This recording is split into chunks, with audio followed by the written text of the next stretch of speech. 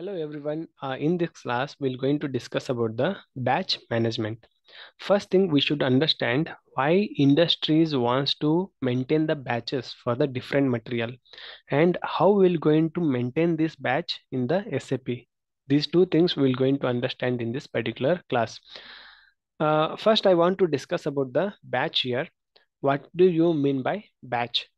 Batch is nothing but the, a group of products which is having a unique characteristics we can say. Let us consider we'll just take with a uh, some example. Uh, one manufacturing industry is there and it is using different materials like a b and c are the three different materials in the industry. And using this three materials the industry is preparing a abc material. A plus b plus c it is making a abc material. And how it is using these products uh, a it might be using a 60 percent proportion and b it might be using around uh, a 20 percent proportion and c also it is using around 20 percent proportion. Like that it is using the proportion and it is preparing the material abc and whatever the material it is preparing no it is of very good quality. Means what? Whatever the material you are manufacturing with this proportion it is of very good quality. So company what it will going to do it will take this proportion as a ideal proportions and whatever the further abc products will going to produce in the company that will going to use only this proportion and they'll going to carry out. Or else uh, this is one batch. Okay we can say for this. Or else let us, let us consider uh, some pharmaceutical industry is there and they are using uh, the same materials like ABC and they are uh, taking like uh, A as 49%. Okay. This is some other product. Okay. And B as around 20% it is using and C it is using around 31%. And whatever the product they are manufacturing here in the quality test, the product is failing. Okay. In the quality test, uh, whatever means they are not manufacturing only one or two materials. They will be producing the tablets in bulk quantity like in lakhs they'll be producing the tablets. But with this proportion if the material is not going to test its quality okay means it is not going to qualify its quality then they have to eradicate or discard the entire batch. They are not just discarding one or two material here the entire batch will going to get discard so that is where we're going to use the batch management.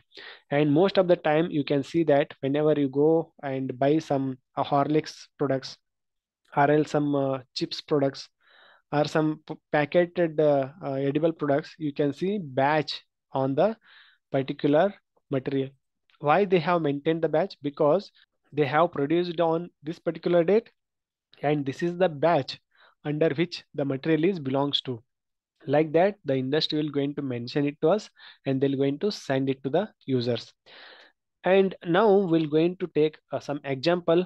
Okay here uh, let us consider you have the some um, uh, what is that? Cloth manufacturing company and you are manufacturing the different cloths. Out of which you are you want to go for the batches for the different characteristic of the cloth. Okay i'll just say uh, it is uh, we are not just making the characteristic based upon the proportion here.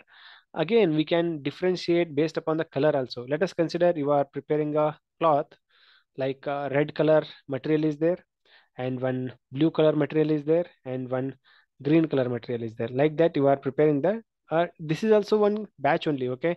If you are ordering for the red color then it is one particular batch okay? You are making the blue material as one batch and green material as one batch like that.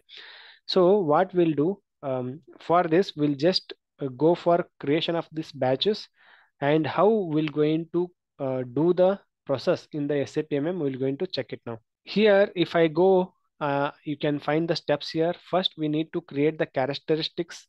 Okay, in the SAPMM, the T code is CT04 for this.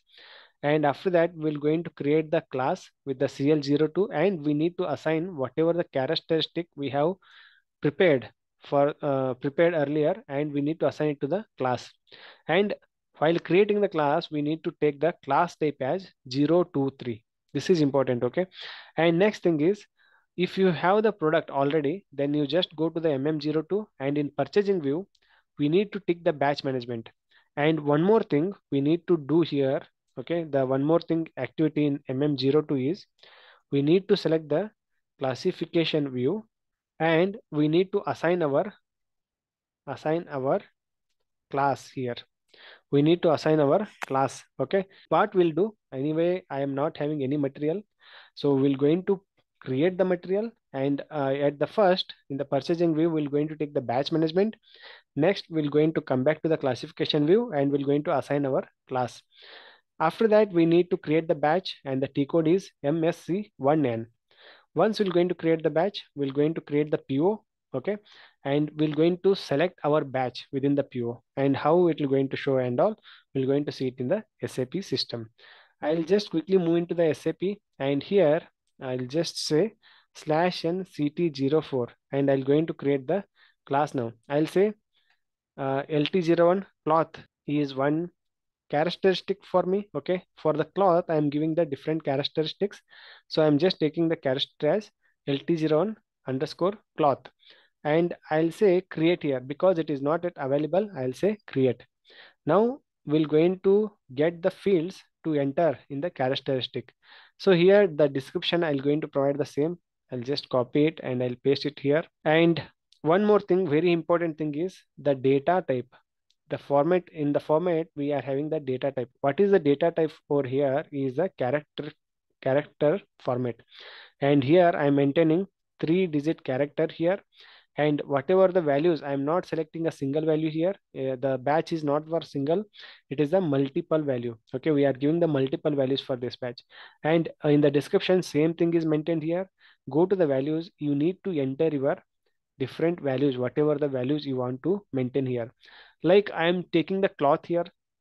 Like let us consider c1 is there and uh, this c1 is belongs to red cloth. This is one character okay? C2 is another character. I am creating the uh, blue cloth with the c2 character. And c3 is the another character. With this i'm creating the green cloth. Like this i'll going to give uh, three different characteristics here. Means these are the different different characteristics but they are available in this lt01 underscore cloth and click enter. Just save this data. I will i have created the class now. My class is sorry my characteristic is lt01 underscore cloth now i'll just go and create the uh, class now. Slash n cl02 is for uh, creation of the class. Here also just give lt01 cloth only. And here this is important okay? Class type we need to take it as a 023 and just say create here and I need to just give the same description or else whatever the description you want, you can give it, but I'll just maintain the same. And here the status is there, it is released and class group is there. Don't uh, ignore all these things, okay? And just go to the characteristic here. We need to assign whatever the characteristic we have just now designed, uh, defined that is LT01 underscore cloth. This is our characteristics, right? So just click enter, see all the values it is taking automatically.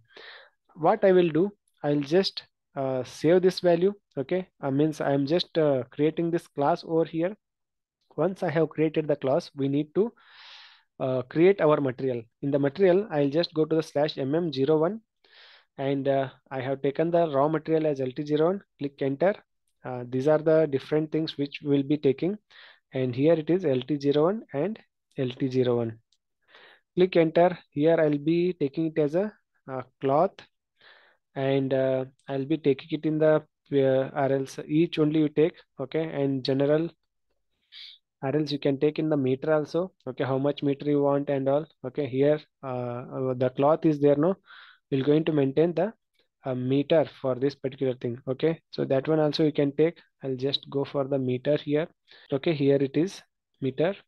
Just click enter and uh, here in the purchasing view, this is important. In the interview also, they may ask you, um, uh, what means what is the, how we're going to process the batch management if they are asking. The answer is very easy. Okay, first we're going to prepare the characteristic, then we're going to prepare the class. After that, we're going to assign our characteristic to the class. Then uh, if we have the material, then go to the MM02. In the purchasing view, we're going to tick the batch management. So here is the batch management. This is one important thing here. And uh, we're going to take the uh, what is that um, uh, classification view also in the classification view we're going to assign our class in the classification view and once we're going to assign our classific I mean a class in the classification view we have the option to select what are the different characteristics are there for the material we are preparing then we're going to create the batch after that we're going to create the PO that's that should be your answer so I'll just take it as L and proceed further. Here I'll just mention it as a PD and I'll take MRP control as LMC and this is EX, click enter. I'll just take it as a 10 days and this is LSK, click enter. Here for the raw material it will be 3000 and click enter, save this data. And I have created the material uh, 5 followed by some zeros, 1 tree. I'll just copy this material. And again just give this material over here click enter. Now you just select the classification view. It will not going to go for any other views now. It will directly jump into the classification. Just see i'll give lt01 and lt01 here. Just click enter. See it is coming for the classification view i'll just give my class uh, uh, class. What is my class? Lt01 underscore cloth is my class. Just click enter. See i have given this value. And here what are the different values you want to take it for the this particular class it is asking. I'll say all the three values i'll be taking. Means whenever i'll be sending uh, the po to the vendor that time i will going to choose okay which uh, thing i want to order. Okay which color cloth i want to order i will going to choose in the po but as of now in the material i'll going to take all the different characteristics. If you want to have the separate characteristics then what you can do is same thing you will going to proceed and the same class you will going to assign it for three different materials. But first for the this particular uh, material like we can say red cloth we'll just select the red okay other two options i'll not going to select from here. So we'll just select the red and we're going to proceed. So that is how we're going to create three different materials with a three different characteristics. But as of now i'll be taking the all the characteristics within this material. But whenever i'll be sending the po to the vendor that time i'll going to take uh, what is the material characteristic and i'll going to means i'll going to send the po to him. Okay i'll say okay here and just save this data i have created my material now we'll just go and create the batch uh, for creation of the batch the t code is slash n MSC1N. Just click enter. See, this is the material for which we want to create the batch. You can take the different batches here. You can mention the number. You can mention some characteristics. You can mention alphanumeric entries. Anything it is possible. What we'll say? I'll say red one. Okay. Uh, or else red cloth, red cloth, red C will going to mention. Okay. And click enter. Here uh, it is provided the expiration date and all. Okay if for the cloth also if you want to provide some expiration date uh, and production date we will going to mention here self life expiration date we can mention here. And here whatever the vendor details are there we can able to mention. And you can able to give the short description or short text for this particular uh, thing as well as you can mention some administration uh, data as uh, created by created on and all. Here we need to mention our uh, classification okay? In the classification we have taken this uh, characteristic but what is this characteristic? It is a red cloth okay? What uh, for which i'll going to select only the red okay? So if i'm taking a batch as a red c then it will going to choose only the red cloth not the other. I'll just save this data and now i'll going to give as a blue c okay? Means blue cloth like that okay? Again you just go to the classification and select your uh, blue color here okay? Means you are uh, choosing this characteristic or this uh, particular batch means it is ordering the blue cloth like that. Just save this data and again you just give the green C click enter go to the classification and here uh, you can choose the green and just save this data.